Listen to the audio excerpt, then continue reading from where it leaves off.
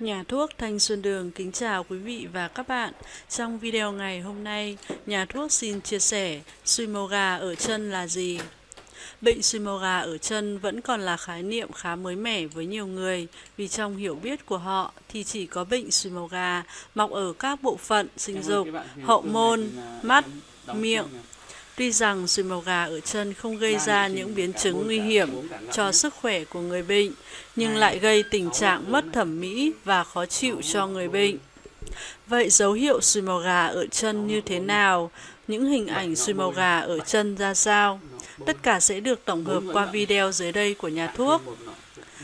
Suy màu gà ở chân hay hoặc sùi màu gà ở ngón chân là tình trạng xuất hiện những mụn sùi có to và có hình dạng như hoa màu gà tại chân của người bệnh. Có rất nhiều nguyên nhân có thể dẫn đến tình trạng sùi màu gà ở chân, nhưng nhiều nhất vẫn là do khi chân của người bệnh tiếp xúc với những vết thương hở của người bệnh khác. Hoặc có những người trường hợp bệnh sùi màu gà không được khống chế kịp thời, mụn sùi màu gà lan rộng đến chân do chất dịch từ mụn sùi màu gà.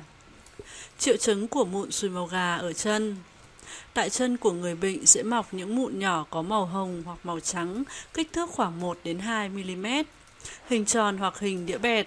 Bề mặt của những mụn sùi này khá sần sùi, không gây đau cũng không gây ngứa những khi có va chạm.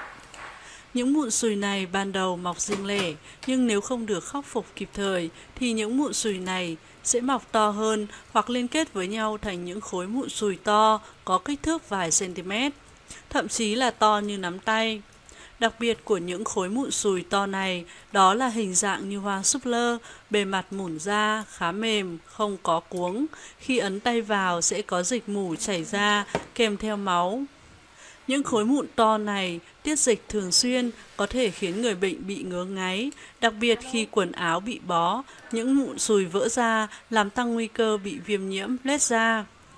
Những mụn sùi này khiến người bệnh cảm thấy rất mất tự tin khi mặc quần áo ngắn hoặc thậm chí lan rộng nhanh chóng của mụn sùi có thể khiến cho việc đi lại của người bệnh bị khó khăn. Vậy bạn, khi bạn không may mắc phải căn bệnh này, hãy liên hệ ngay với nhà thuốc Thành Xuân Đường qua số điện thoại đường dây nóng 01682 53 1881 hoặc số điện thoại 01682 43 1881.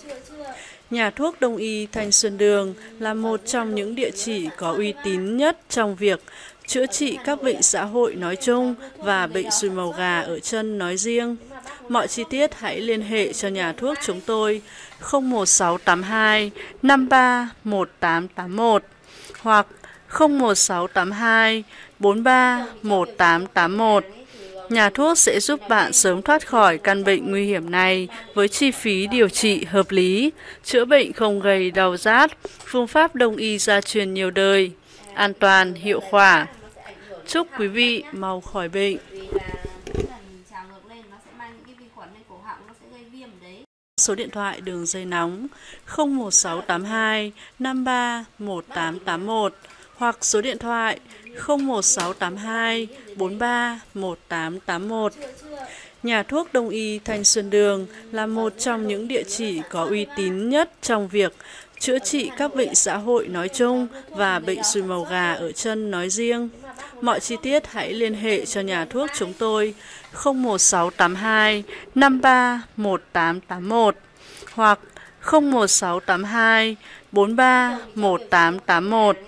Nhà thuốc sẽ giúp bạn sớm thoát khỏi căn bệnh nguy hiểm này với chi phí điều trị hợp lý, chữa bệnh không gây đau rát, phương pháp đông y gia truyền nhiều đời, an toàn, hiệu quả. Chúc quý vị mau khỏi bệnh.